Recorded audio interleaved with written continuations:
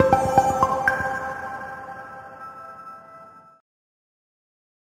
So now uh, why Python industry is moving towards more and more into a Python centric environment?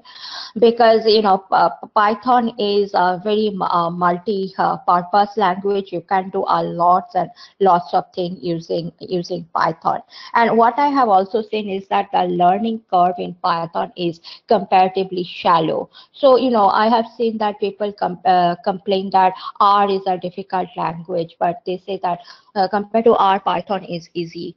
So, so I mean, it depends, but um, Python, uh, the general perception is that it is easy to learn language. The learning curve is relatively shallow, and you can do mm, multiple things using Python. So now, um, uh, again, obviously it's a high level language it's not a low level assembly language and um, high level language is easy to learn and it is definitely uh, you know the niche areas are machine learning deep learning um, big data. So i would say machine learning deep learning big data spark these are all can be done very efficiently using python. So i think that adds to its attraction. Um, so google uh, you know the tensorflow is the number one language in deep learning area is on Python. So, and obviously it is open source, free to learn. So uh, people are, companies are not willing to pay for licenses. They're more and more, I see the trend going towards the open source. So, you know, so it also adds to this uh, charm that it is free. And uh, here you can see it's, it's a spectrum ranking. So you can see um, maybe C, the language C has still 100, like um, can be used in many types of uh, development, but you see Python has come up into number rank three. And I think it's for web development and a desktop kind of application. So it's, it's really there. Uh, R is at the number of I mean five. So you know R has some limitations. I would say it's mostly it's still a darling. You know, it's still a champion as far as statistical modeling concerned. But uh, Python has like web development and all these things are very very well developed. So uh, and why Python is so popular? The syntax is really you know very minimal uh, syntax uh, easy to set up, easy to debug, and, and uh, number of syntax that you need to write to accomplish any task is very, very minimal.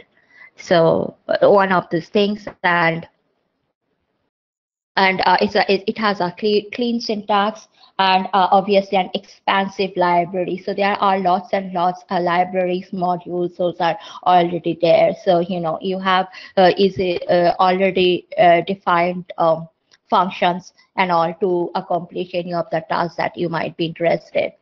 and obviously it's an open source language i would say uh, uh, there are like millions of users who are using it. So you know the getting the support is very very easy. So you can use uh, forums like stack exchange.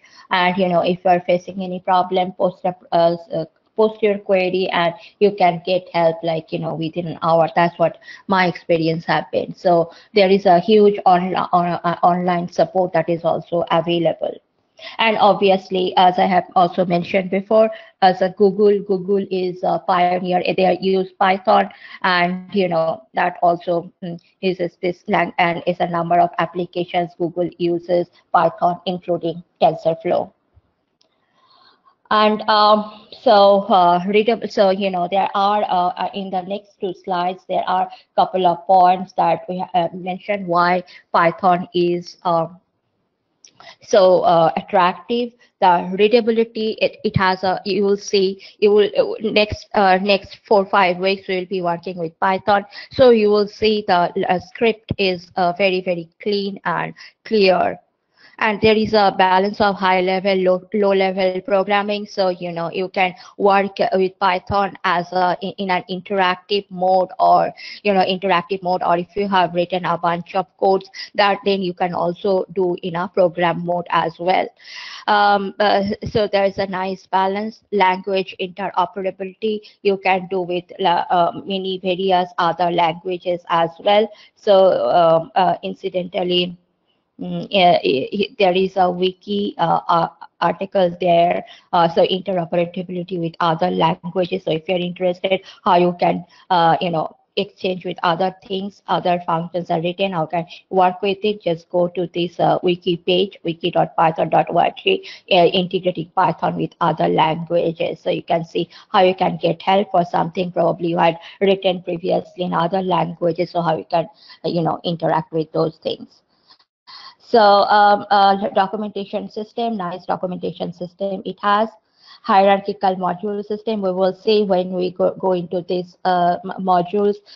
Data structure, uh, Python, the main data structures, they are uh, list, tuple, uh, dictionary, and, uh, and could be set as well.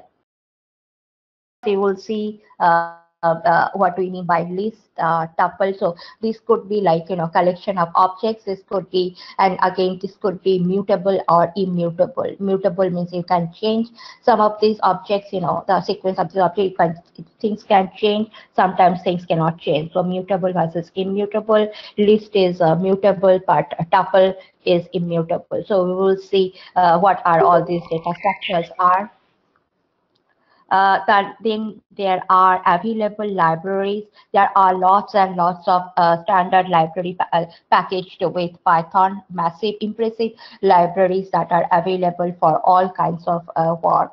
Some of them, you know, we will be uh, working with the most important libraries like um, NumPy to work with your arrays, how you can work with array and matrices then uh, we'll be working with um, uh, SciPy for your scientific computation.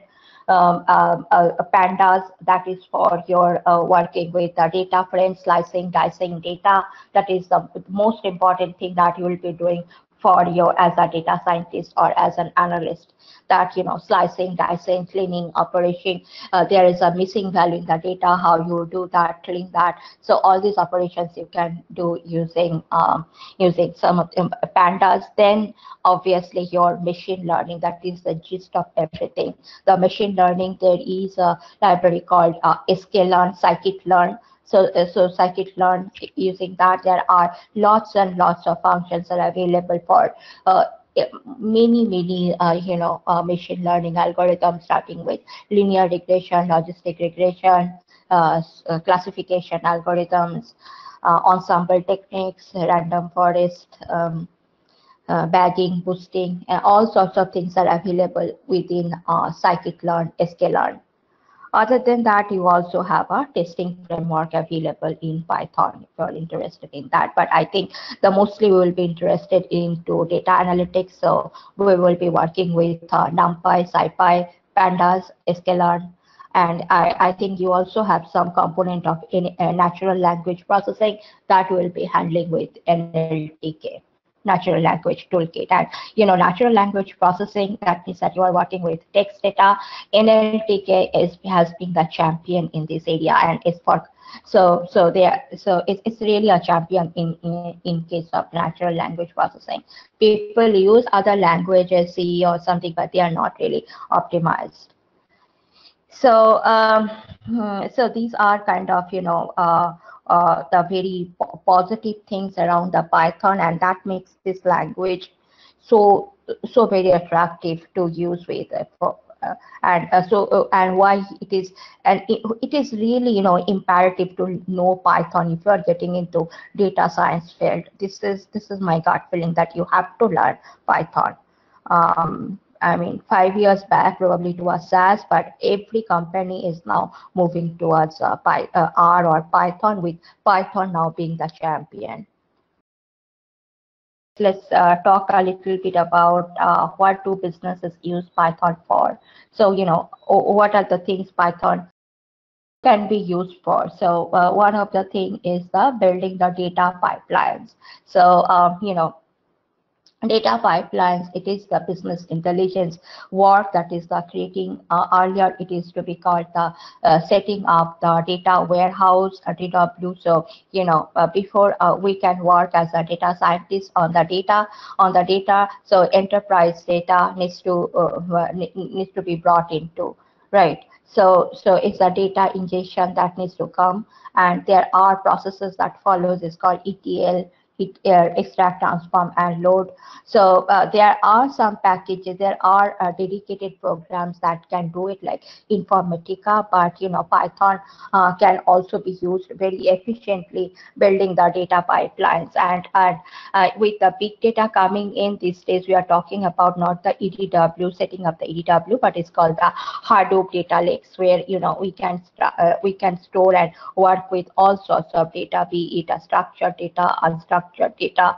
Batch uh, also data could be at batch, at rest, or it could be real-time data. So, so uh, and again, Python is very, very optimized into that. Second thing is obviously uh, it's an analytics course, data science course. So our focus would be uh, uh, analytics. So in the analytics phase, uh, uh descriptive analytics. So you know, um, so when we talk about analytics, there are a few uh, categories of analytics are there. So it is usually called a DPP framework. So this framework is called descriptive prescriptive and sorry descriptive predictive and prescriptive analytics. So whatever problems that we do in the analytics they fall into either of these three categories. They could be either descriptive predictive or prescriptive. So what does it mean by descriptive? So descriptive is nothing but you know you have the data so you are looking at the data trying to find out you know what does this data represent? What does this data tells me so it, it says like what has happened. So these are the type of questions that you want to do. This is your descriptive analytics you want to do. So yes, of course, obviously this is uh, these skills are very much, very very much in demand. Business always wants to know about the their historical data. You know what is happening or what has happened. What what are my new marketing opportunities? Who are you know what what uh, has been the uh, profile of my customers? Who are my customers? I want to know about them. I want to know about their spending pattern you know i want to i want to see what they have spent in the in the in the past on which of the categories. So these all all of these things that we can do uh, is called the descriptive analytics.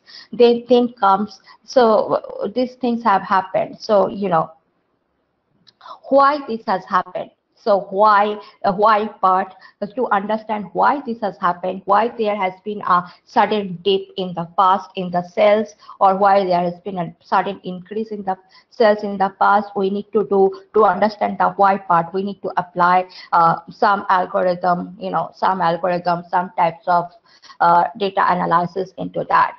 So, so that kind of thing is called uh, uh, is called predictive analytics when you are trying to predict something or we want to understand something that has happened, with, uh, analyze something that has happened in the recent past. So that type of analytics is called predictive analytics. And once you are done with predictive and descriptive part, you want to recommend to your business what the business should do. And that is kind of analytics we call predictive analytics. Uh, sorry, that is called prescriptive analytics. So, you know, Python can be used for all of these uh, cycle for descriptive, uh, predictive, and uh, prescriptive analytics as well. Now comes your machine learning and data science part. So machine learning and data science part, as I had mentioned before, it comes into, falls into the bucket of predictive analytics. So, you know, we are trying to understand the why or, you know, can our customers be divided into the clusters? So uh, obviously, you know, I would like to uh, uh, target my customers, but, you know, uh, uh, it is not possible for me to create a, a marketing strategy for each and individual uh, customer. Instead of that, what I try to do is that I try to look for, you know, bigger groups, bigger clusters, so that I can target the, those cl clusters. Now, what happens is in a cluster, all the customer in that cluster would be the similar in nature, but different from the other clusters. So, so, so you know, uh, we can do this. This is called your un, uh, this is called your clustering, and this is called your customer segmentation. This is very much used in marketing, um, a customer or customer analytics. So, uh, and these in the machine learning terminology, these also falls under what we call unsupervised machine learning. So, you know, we might have a discussion later in the course in the machine learning falls under uh, supervised uh, uh, machine learning algorithms and unsupervised machine learning algorithms. So, you know, we can do all of these things using Python and the, the library that we will be looking for uh, to work uh, on this is called the scikit-learn, the sklearn. So we will sklearn or SciPy. SciPy and sklearn would be our major workhorse for machine learning and data science. And this is really the cream of, you know, the cream layer of all. So, uh, so this is, you know, machine learning and uh, data science. So, um, so working as an analyst, analyst data science, as you know, I had just mentioned uh, SAS. SAS, SAS really was the it, it is a market leader. Five years back, everything was in SAS. There was a little chunk, of SPSS was also there. Stata, not that much. MATLAB was uh, it's an engineering product. If you go to an engineering school or if you're an engineer, you, you have done MATLAB.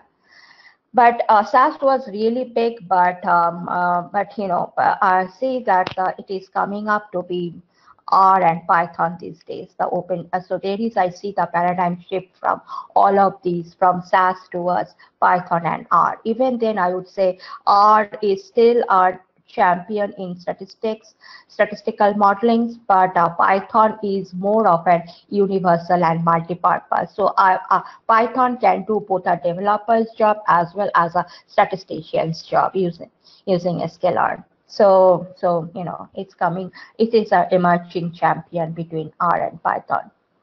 I'm sure you enjoyed learning from this video. Please like the video and if you have any doubts regarding this video, Please comment us in the comment section and don't forget to subscribe to our channel for more such informative videos. Do look out for other related videos in our playlist. For more information, visit our website now. Keep learning with Intellipaat.